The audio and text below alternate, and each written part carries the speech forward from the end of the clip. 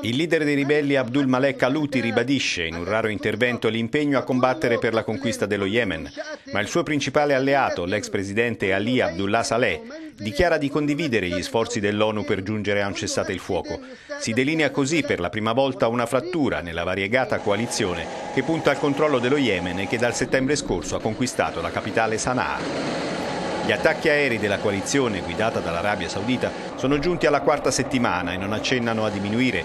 Uno di questi attacchi avrebbe colpito un deposito di materiale umanitario, secondo quanto denunciato dall'Oxfam.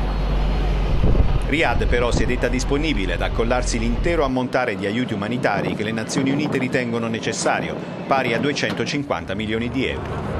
Stamani un'esplosione in una base missilistica nei pressi della capitale in seguito a un attacco aereo ha provocato diverse vittime. Il conflitto yemenita vede schierate l'una contro l'altra le principali potenze regionali, Arabia Saudita da una parte e Iran dall'altra.